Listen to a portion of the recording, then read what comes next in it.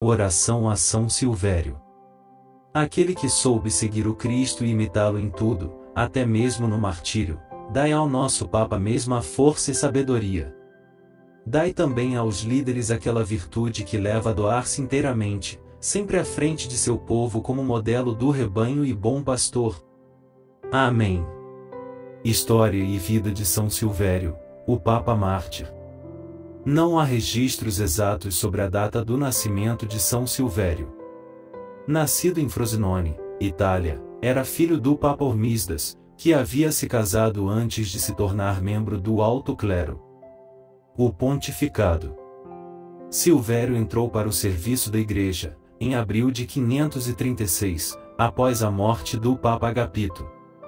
Foi eleito mesmo com o descontentamento de muitos, que não o queriam como Papa, pois, na época, ele era apenas um subdiácono, um ofício religioso considerado muito baixo para ter acesso ao trono de Pedro.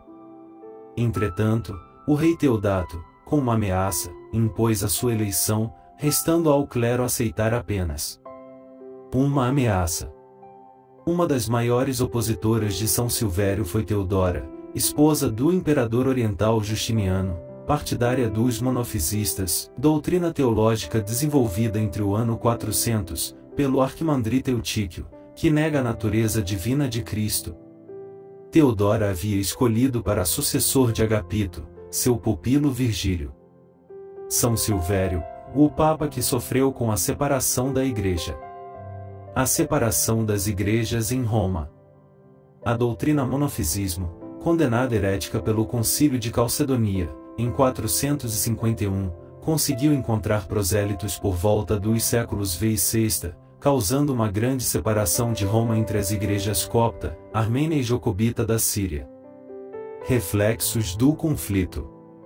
No decorrer desse conflito, no ponto de vista político, complicava-se a situação na Península Italiana que, na época, era disputa entre Constantinopla e os invasores godos. O pontificado de Silvério e toda a esfera religiosa pagavam todo o preço nessa disputa de poderes.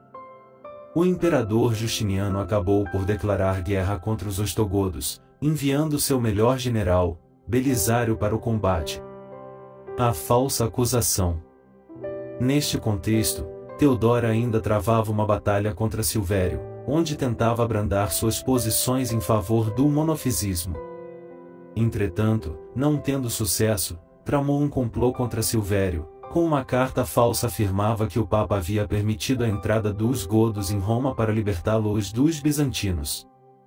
Sem o direito de explicar-se, Silvério foi despojado de suas vestes papais, e vestido como monge, foi levado para Constantinopla. Sem ajuda, acabou sendo deportado para Patara, na Lícia. Em seu lugar, Virgílio tornou-se papa, mas não foi hostil ao monofisismo. Da falsa acusação à vida eterna. Curto pontificado. Eleito como 58º Papa da Igreja de Roma, o pontificado de Silvério durou apenas um ano, por causa dessa grande guerra que perdurou por 18 anos. A prisão de São Silvério. O bispo de Patara, disposto a inocentar Silvério, apresentou ao imperador provas irrefutáveis que provavam a inocência de Silvério, que obrigaram Justiniano a libertá-lo e mandá-lo de volta para Roma. Porém, Virgílio, para se defender, fez com que o general Belisário prendesse Silvério e o deportasse para a Ilha das Pontinas, em Palmarola. Páscoa. Na tentativa de acabar com o cisma entre as igrejas, neste território, Silvério decidiu abdicar e, em aproximadamente um mês, em 2 de dezembro de 537 faleceu.